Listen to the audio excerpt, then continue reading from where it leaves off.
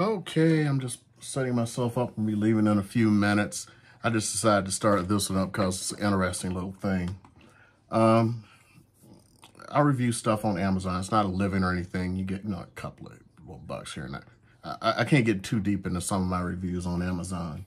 Surprised they let me anymore after these negative ass videos I've put out about the shit they've done for sending. Although this, this, you know what? I'm thinking about this shit with the negative ass videos that I've put out about their fuck ups. This now doesn't make any sense. And, and here's why. So a company reached out to me and asked me to review a product. Well, I actually couldn't use the product and I responded to them, I can't use this. I'm not going to put out a fake ass review just to get, you know, some little change or something. Okay. Their response was, no worries. You can review our logistics chain to get to getting there. Okay, I can deal with that. So I, I get the product, can't use it, don't even know what the hell the thing's at, because if you've seen the mess of my home. But here's it. Here's the thing. I just get the email, middle of the morning here, I'm going through my emails. Thanks for submitting your for submitting a customer review. Thank you for submitting a custom review on Amazon. After carefully reviewing your submission, your review could not be posted to the website.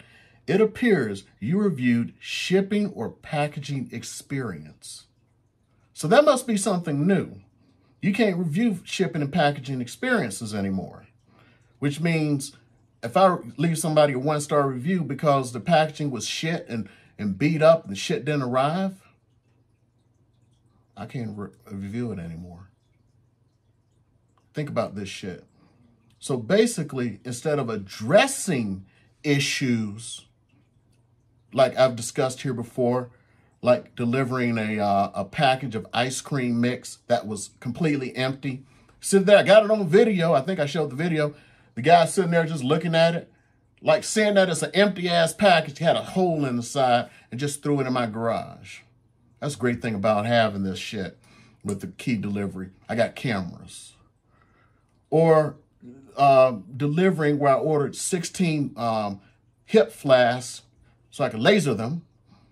And got just talk. First of all, I, have noticed, I've talked about in previous videos, how they seem to, uh, when they have used shit, they don't put it into a regular uh, you know, it's not like reg they just put a label on the shit and send it out.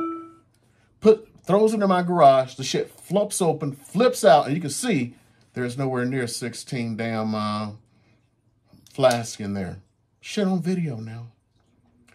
Them delivering a used as fuck, used as fuck, $800 cough, uh, cappuccino machine.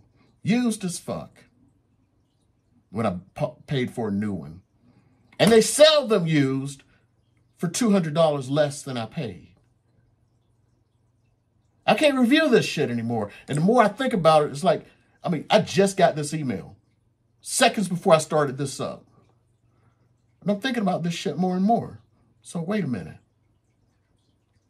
When, when shit comes fucked up, when I order new shit and you send me not just used, but used and fucked up shit,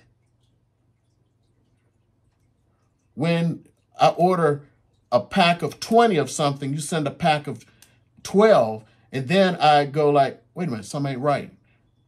Uh, so I ordered again and sent another pack of 12. And by the second time I ordered, actually a day after the second time I ordered and had it, the listing's been changed from 20 items to 12. By the way, I, I captured all of that so nobody can get away with it. Got the screenshots. But I can't review that now. Think about that shit. They're covering their own asses. Man, I can do this. It's like, so look, let's see here. Uh, a few common issues to keep in mind.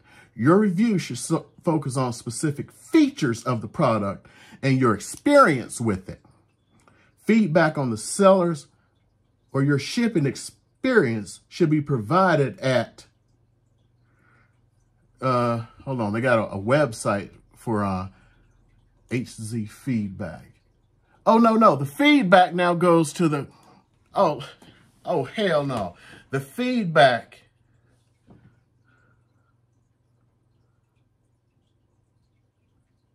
Um, let me see.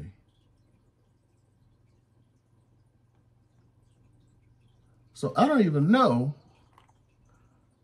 if this shit would actually go to um Amazon now. I mean, so people can see it. What the fuck? So if it's about the feedback for that, I'm looking here.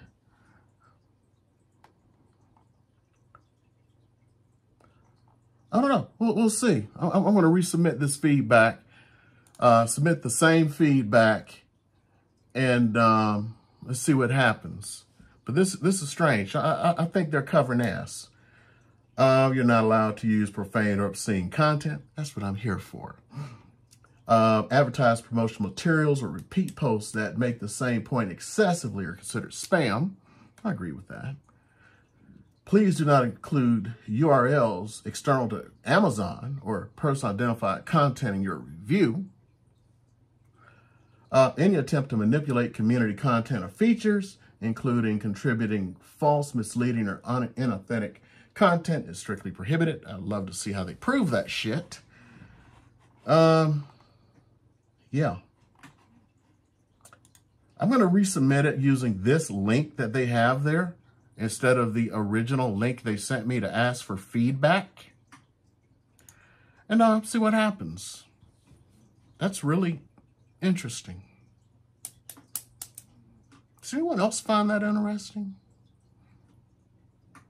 How many of you have received fucked up shit from Amazon and now you can't review it for the fucked upness that they sent you a used product when you bought a new one? when it arrived all beat up and broke, half the shit broken, like with those um, salt and pepper shakers. I can't review that now. It's getting more and more interesting. So anyway, I'm getting ready to leave out for a little event um, down at South Point Casino. Uh, it's called, what, 17 Ways to Take the Summer or something like that. Let me see what this shit's called. Uh, gotta go like this. New market, new market, new plan, 17 ways to win this summer. So about to head out for that. this just gets more interesting. I don't know what to say or do. I don't know. No, I don't know. No, no. Okay, uh, that's all I'm going to say for today. Uh, hopefully I can get all this last week of videos out Maybe maybe I'll just uh, leak it out like two videos a day or three. That way it's not not this whole dump. So uh, day's the 24th. And uh, I was going to plan on doing something else this afternoon, but hey, hey. Yeah.